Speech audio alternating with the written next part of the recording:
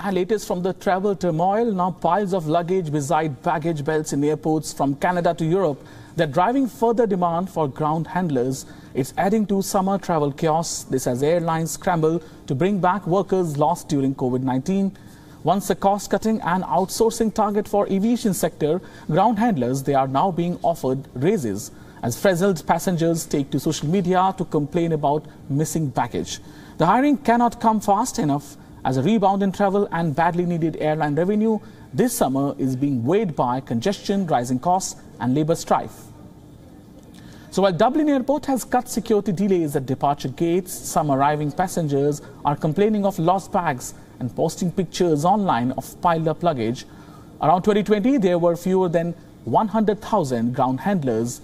Now they have sought more stable jobs in other industries as many of them got fired. They're getting better pay and working conditions. They're not willing to come back, and that's causing a lot of pressure. Air Canada, which has its own employees who handle baggage at Toronto's Pearson International Airport, said the resumption in travel has led to more instances of delayed bags as passenger numbers surge. It is now carrying around 120,000 or more people per day on average compared with 23,000 last year.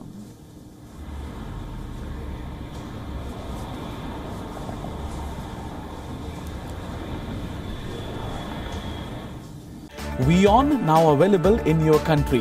Download the app and get all the news on the move.